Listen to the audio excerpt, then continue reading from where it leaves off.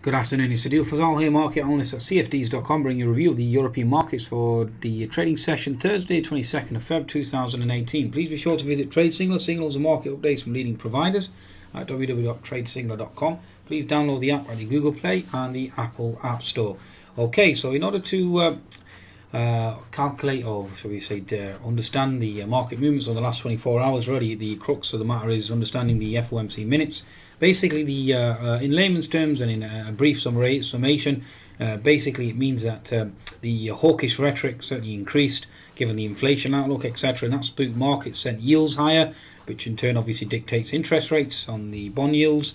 Bond prices falling yields move higher obviously given the fact that the situation in America right now, we've got uh, hawkish, well, basically end of uh, QE, uh, reining in uh, monetary policy, certainly tightening policy there, adding the fact that there's a fiscal stimulus as well, which in turn is taking on more debt, rising rates, more debt, given the fact that the uh, infrastructure spending bill certainly will not be uh, fiscally neutral, and that certainly raises concerns with regards to American debt going forward. We've already had Chinese this year uh, reiterating that uh, they are going to reduce their exposure to US uh, debt, and that certainly adds uh, to the fear that yields are going to be spiking, interest rates are going to be rising, and the whole situation can certainly blow out of control, especially given the uh, the amount of uh, debt the Americans are coming into.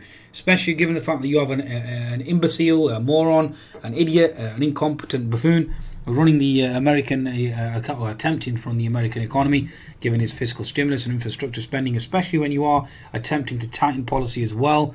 Really, the fiscal stimulus should certainly have been uh, a potential bullet that could have been fired to prevent any meltdown in the stock market and that certainly hasn't been the case. Now, I'm not going to go into that.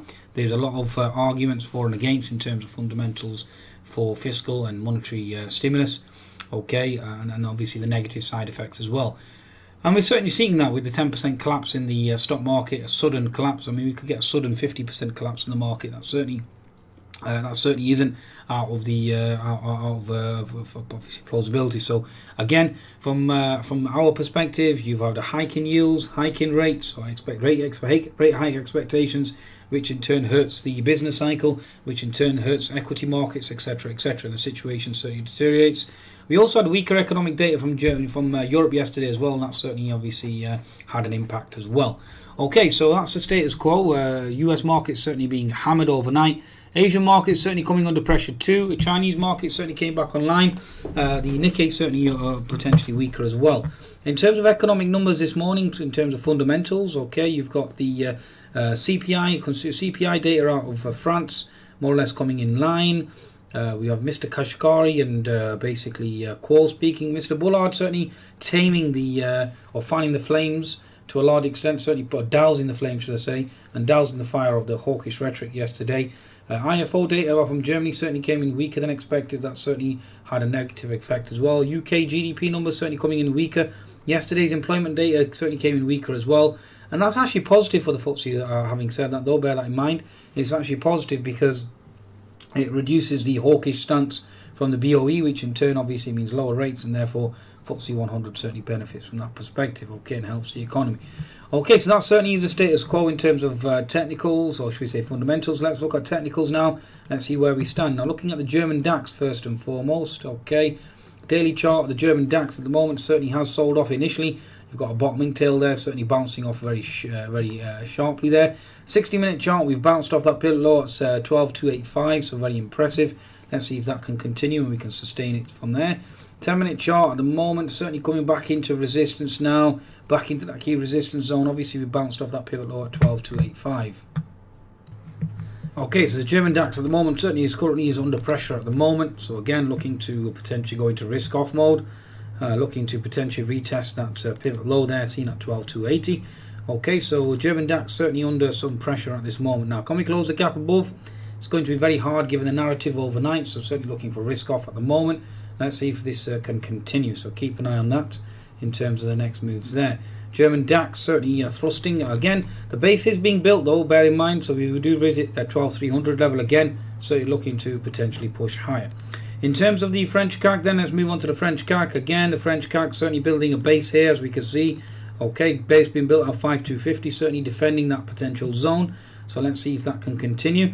Uh, daily chart as well on the French CAC. Again, we're certainly uh, facing up to resistance at 50%. Given the narrative overnight, the French CAC certainly has shown some strength. Also, given the fact that we had weaker data as well from France this morning. So, again, bear that in mind. Still attempting to close that gap at 5365. 10 minute chart at the moment certainly looks exhausted now. We're certainly into that double top scenario.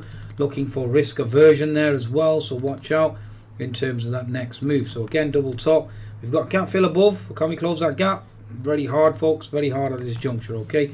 So, like I said, we're looking for reversal and looking for risk aversion here. Okay. In terms of the FTSE 100, again, I'm keeping an eye on this inverted head and shoulders formation, the FTSE, looking for it to reverse back down to 7208, possibly even lower. So all eyes on this IHS at the moment for me. Uh, taking the pivot low at 7190, take it to this neckline here. Looking at a reversal back down to 7205, 7200, and that certainly will be a buy zone for me. And the next potential move looks like it's going to be lower, potentially even retesting 7190. Again, that will be another buy zone for me. In terms of the daily chart, the FTSE 100, ever since we've got to 7300, we've been rejecting, 7290 rejecting, previous support equals resistance rejecting as well. Okay, so the uh, the movement certainly has been lower. 60 minute chart, we're certainly defending that 7200 level. Okay, we hit pivot low 7190 this morning. If we do continue to crack, then you are looking at 7165. Looking at this uh, chart here, I mean, one could argue that you've got a bear flag formation even lower. So again, just keep your uh, your potential uh, outlook or potential next movement open. Uh, bias certainly remains needs to remain neutral there. Okay, that's the status quo in terms of the FTSE 100. Moving on to the Euro Stoxx, last and uh, not least. Uh, Euro Stoxx certainly into resistance at this junction. You've got gap fill above at 3430. Again, looking for resistance here, looking to flush down to 3410, back down to 3400. Euro Stoxx certainly remains weak with that gap fill at 3390.